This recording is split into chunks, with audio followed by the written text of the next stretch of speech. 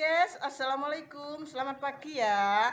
Pagi ini eh, saya punya yaitu yang sebuah tanaman yaitu tanamannya yang namanya pisang gepok ya. Pisang gepok ternyata hari ini sudah masak loh guys yang berada di kebun belakang rumah dan saya mau panen guys. Inilah yang ada di belakang rumah dan ini hewan-hewan aku guys burung merpati ya sedang makan guys ini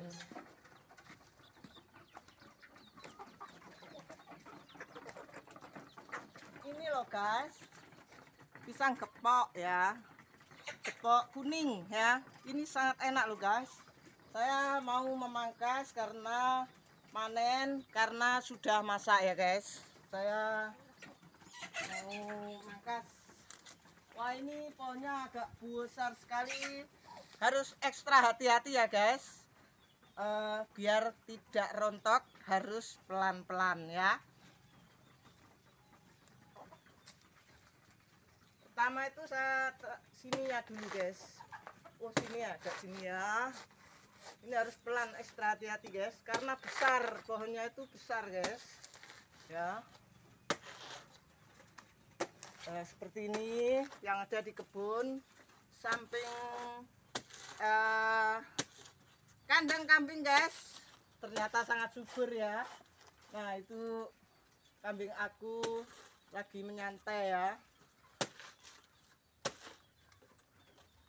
Harus ekstra hati-hati loh guys. Nah kalau sudah seperti ini aku harus nariknya pelan-pelan ya. Dari sana guys. Ini mudah-mudahan nanti nggak rontok ya guys wah wah wah wah wah wah wah. Ya bagus sekali ya. Ternyata sudah di bawah itu memang besar guys. Makanya pohonnya tinggi ya. Dan ini masa yaitu masa montong atau berbunga sampai panen itu memang prosesnya lama ya. Tidak seperti pisang barlin tapi ini lama tapi mantap pol guys. Enak ya. Nah seperti ini loh guys. Nah wah besar sekali guys. Wah ternyata udah ada yang masak guys. Nah tandanya kalau sudah masak ya ini ada yang kuning seperti ini ya. Ini saya angkat dulu ya. Ah besar sekali guys uh seneng ya. Nah tandanya kuning bentar. Pisang itu memang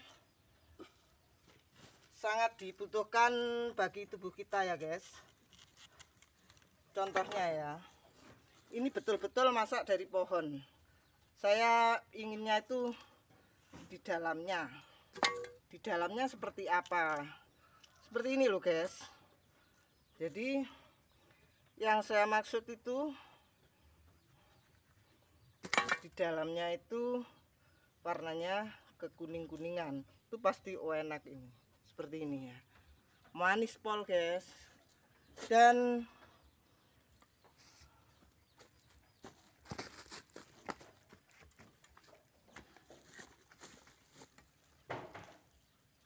pisang gepok pisang gepok itu banyak yaitu manfaatnya guys. Terutama untuk kesehatan ya. Kalau zaman dulu itu untuk bayi ya biasanya itu untuk makanan kecilnya aku itu dilotek guys. Jadi dilotek itu dihaluskan sama nasi zaman dulu loh itu ya. Bukan zaman sekarang ya.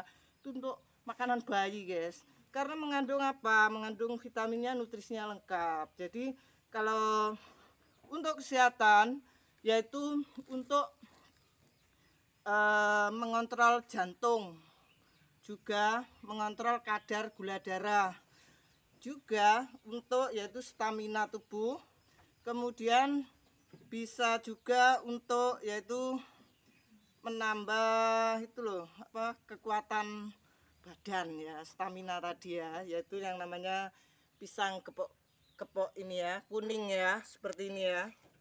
Jadi intinya itu untuk kesehatan sangat-sangat dibutuhkan ya. Seperti ini tadi ya.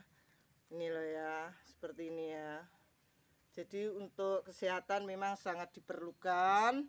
Kalau pisang kepok itu untuk kesehatan tapi untuk makanan bisa untuk gorengan bisa untuk keripik pisang guys. Ini mantap loh untuk kolak dan lain-lain. Jadi kita kalau tanam pisang kepok itu memang banyak manfaatnya guys. Karena apa? Karena kita sering-sering makan buah ya kemudian wah berat banget guys. Uh.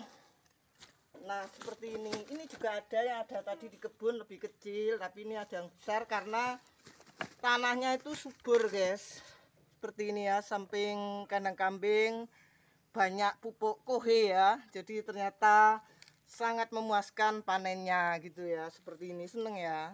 Ini punya tanamanku ya seperti ini ya. Jadi lahan sesempit apa pun ternyata masih masih bisa dimanfaatkan yaitu untuk menanam yaitu eh, tanaman yang namanya eh, pisang kepok kuning ya.